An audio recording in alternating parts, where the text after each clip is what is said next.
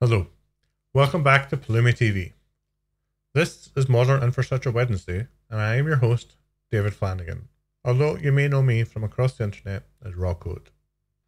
People often ask me, why should I choose Pulumi over other infrastructure as code tools? And it used to be the answer was pretty simple. You get to define your infrastructure in real programming languages. However, the more that I work with Pulumi, the more I realize it's not just having access to real programming languages. It's about smart interfaces that Pulumi expose that allow us to increase their velocity, expand our integrations, and just ship things faster. There are two really great interfaces that Pulumi exposes component resources and dynamic providers. Now, I have spoken about component resources before, so I'm going to save the update on that for another video. Today, we're going to dive in to dynamic providers.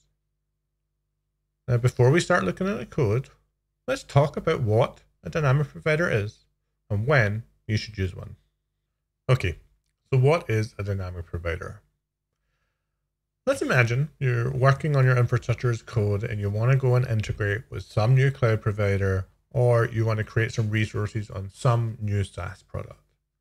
Now, the chances are, hopefully, there's already a provider. In the event that there's not, you've got to make a choice.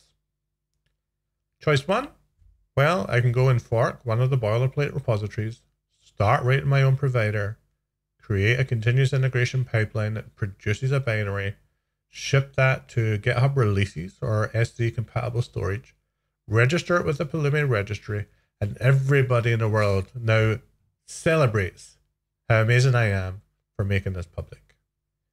And that is a great route. But sometimes, just sometimes, you just want to get working with the API.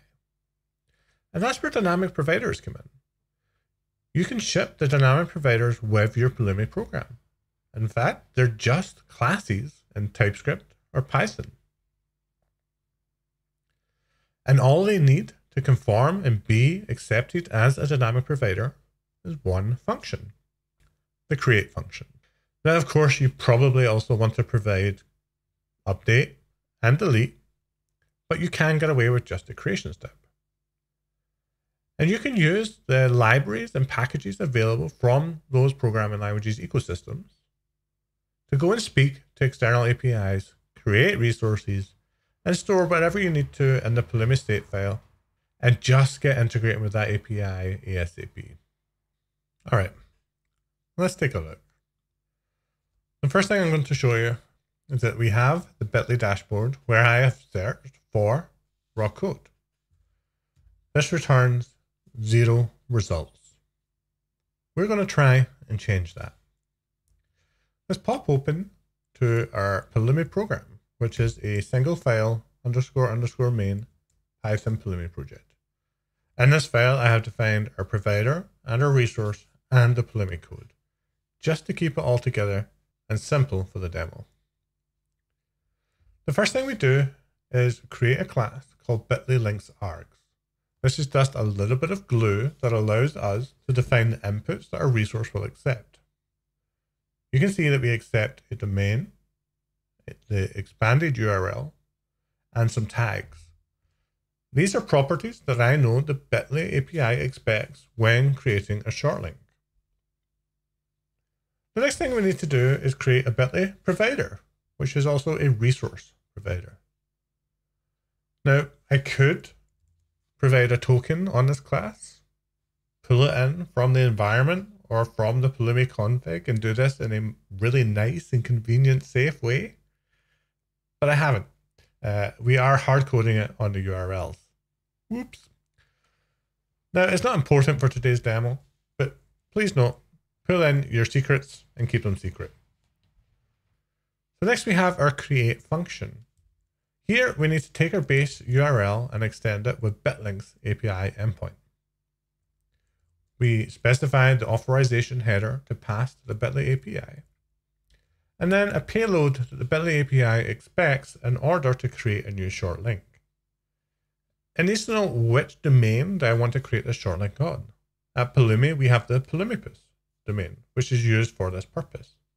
If I were to admit it, I would get a bit.ly link itself. Next, we provide the long URL or the expanded URL. What do we want bit.ly to redirect or where do we want bit.ly to redirect people to when they come to our short URL? And then as an admin function, we can specify tags on these URLs. So when we're using the bit.ly dashboard, we can slice, dice, search, and filter. Right? All nice and simple stuff. Now, because this is Python, I have access to the request library. Awesome. I can just say that I want to send a push request to the URL with my JSON payload and my headers and, verify, and verify the TLS certificate. Now, if we don't get a response that we expect, typically a 200 or a 201, then we probably want to throw an error to give the Pulumi program a way to bubble that up and say, hey, I'm really sorry, this creation failed. Next, we parse the JSON response if we do get our successful 200. And then we use the create result class as a return to tell Pulumi that we want to store this information in our state. That's it. Now we could stop there, but we may want to update our Pulumi program. Next, we have update. Pretty much the same thing. We have our bitlinks endpoint, only this time we pass the ID on the path. Bitly only allows you to update the tags, not the expanded URL. So we're only going to accept the tags for any update request, and everything else will be ignored. This time we send a request.patch with the same data, the same error checking, and the same JSON parsing. Only this time we return an update result with the short URL and the tags. Now, Bitly doesn't support delete, and I didn't need to implement this delete function. However, we added it just to do a no-op.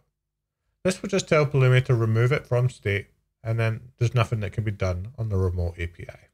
All right, next up we have the resource. This is our bit.ly link, which is a resource type.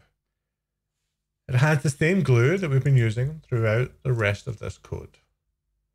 Inside of our init function, we call the super on the resource class.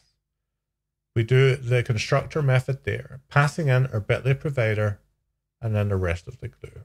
And under 85 lines of code, we have created a dynamic provider that speaks to a remote API and implements create, update, and delete. That's pretty sweet. Then we have to consume and use our resources and our provider. Here we create a bit.ly link called link. We pass in the bit.ly link the args. We tell it to use the domain Pulumipus, a domain that we have available here at Pulumi. The expanded URL is going to go to pulumi.com slash code, which I don't actually think exists. Uh, and then we have some tags just so that I can show you this on the dashboard and filter it down to see our single link. We can then export the short URL so that I can also get access to that after my Pulumi program runs and curl it so you see that this really, really works. So let's go to the terminal and run our Pulumi program.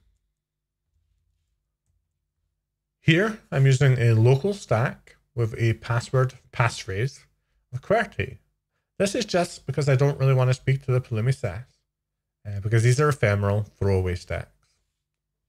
My stack name is dynamic pi, and I'm going to run a Pulumi up. From the preview, we can see that we're creating a stack and creating a new link resource. We can add details. We'll see our domain, our expanded URL, and our solo tag. We can hit yes, and Pulumi has created our new short link. We can copy and paste our new URL and it tells me that it has moved to HTTPS. Good enough for me.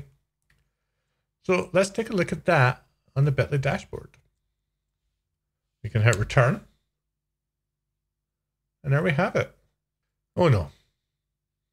Clearly I have a bug in my dynamic provider and we have no tags. But that's all right. we have the update function, which hopefully will work. Let's go back to our code. And from here, we'll say new tag. We'll go back to the terminal and we'll run Pulumi up one more time. We'll see here that we have a diff. It tells us that, hey, we need to add a new tag. Let's hit yes. Pulumi does its thing. We hit return. Hey, uh, we have our raw code tag and our new tag. Perfect. The last thing to do is delete our stack. We pop up here instead of Pulumi up. We'll run destroy and our stack is gone. Now, of course, we didn't implement an actual delete, so our resources will still exist on Bitly. However, you may be working with another API that will allow you to do so. And that's it. Dynamic providers are a really great way to expand your integrations and work with new software. There might not always be a Pulumi provider, and this is a really great way to get your team moving forward. And under 100 lines of code, we define a provider that speaks to the Bitly API, creates short links, updates short links, deletes short links, and we ship it right with our Pulumi program. So what are you going to integrate with next? Let us know in the comments, and we'll see you again soon. Have a great day.